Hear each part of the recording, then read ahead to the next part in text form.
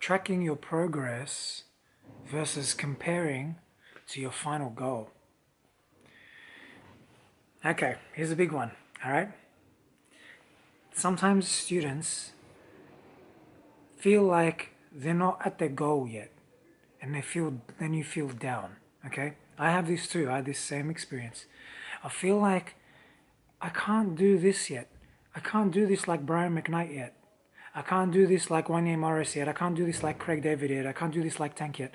And then I'll feel like I'm worthless as a singer. I'm not good enough. Maybe I'm not supposed to be a singer. Maybe I'm not cut out to be a singer.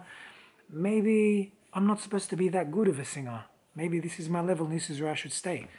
Oh, all this emotional doubt, all this emotional stuff happens. And here's why. I'm going to give you a strategy that helps me deal with this because this happens to everyone. Everyone experiences this. Uh, because everyone is always, everyone, especially everyone who has high goals, who who is really motivated by great people that achieve great things and feels like, oh, I want to achieve great things in my life too. You might feel this way. Here's a strategy. You have to learn to track your progress. Not only track, not only compare yourself to the final goal. Now you should compare yourself to the final goal because it does matter. It does matter. Are you objectively as good as the artist that you're trying to copy? If you aren't, you should put that on your goal. That's your goal. I want to get as good as whoever the artist is Ariana Grande, Mariah Carey, um, whoever it might be. If you're not that good, you should make a list of why aren't you that good? What is what is the skills you don't know yet? But don't get caught up on only comparing yourself to the um, to the artist.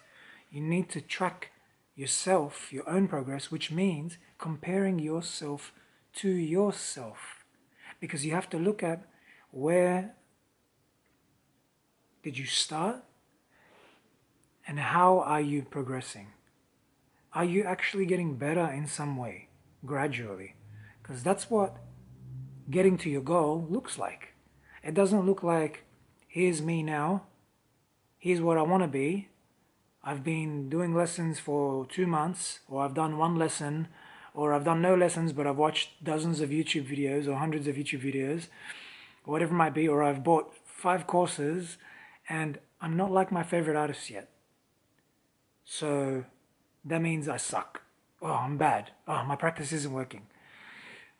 Instead of falling into that trap, I want you to make objective goals to be like, here's this vibrato that I want to learn to do. Oh,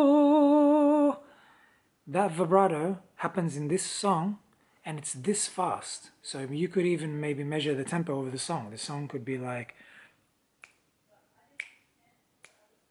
whatever it could be.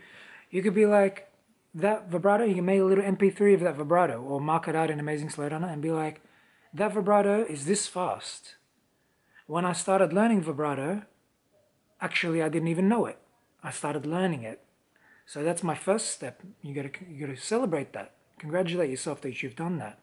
And the next step, you might spend many months getting your vibrato getting to go faster, but now you're only half that speed. So you try to go, oh wait, let's use it, let's use a song example. Um,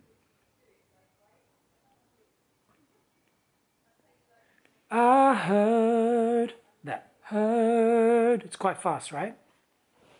So let's say you can only go, I heard, you can only do it slowly.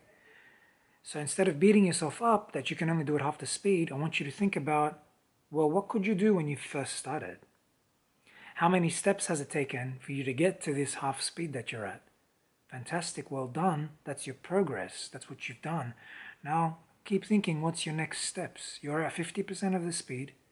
You're going to gradually work up to get to that 100. All right. It doesn't matter if it takes a year, if it takes three weeks, if it takes seven months. It's not important. What's important is that you have a plan. You have a method that you're doing. You have a teacher that can give you feedback, that can give you, that can put you through the exercises. My classes are like a personal training.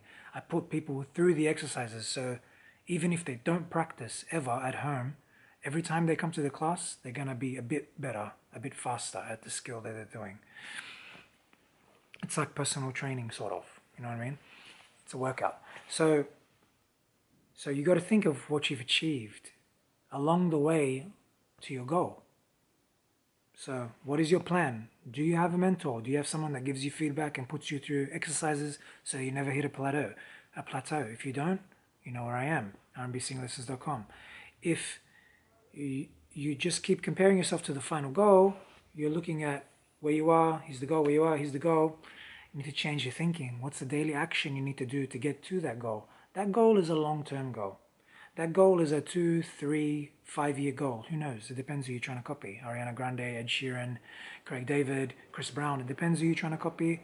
It depends on your natural learning ability, your natural level that you were given, you know, at in your genes or whatever. And how much time you spend practicing, how many lessons you do, that kind of stuff. So you got to think what is my plan? What is my daily action or my regular action that I do that gets me closer to my goal? So that I can feel like, yes, today I'm doing my vibrato. In, oh, today I've got a lesson with Rached and I feel like doing vibrato. I feel like getting better at vibrato. Um, and then you do that. You know, maybe you do vibrato every two weeks in a lesson with me. Or maybe you practice vibrato, you go to like a five minute plan. Every day you do five minutes of vibrato whatever it is, you need a plan that moves you forward in tiny increments because that's the only way you get better. You're not going to go from 50 to 100 magically. So there's no point in whinging about it. So stop whinging if you're whinging. Take action. And your action is I'm going to work on that gradually. What's my steps to get to 50 from 100? I'm going to check with Rached. What's up? What do I got to do in lessons? And you got to remember it's going to take some time. It's not going to be done in one lesson. I'm gonna get this vibrato or this run or this phrase or this entire song or wherever, whatever it is you're working on for wherever you're at. I'm gonna get that to go from 50 to 100. I'm gonna do it. I know people have done it. I've seen Rached's before and after. I know it's possible. I just need the right kind of assistance and I need to change my mindset to not only be thinking of the long term, but also be thinking of the mini, the mini goals to get to that long term. The regular weekly or monthly steps that I'm making. Oh, look, I'm 10% faster on my vibrato. Got to celebrate that. All right? You got to celebrate that. You can't just be like, I'm 10% faster on my vibrato. Oh, but I'm still not at the 100%, so I suck. You can't think like that. That's not going to help you. Okay? I'm Rached Hayek, rnbsinglessons.com. Hope this helps. See you next time. Bye.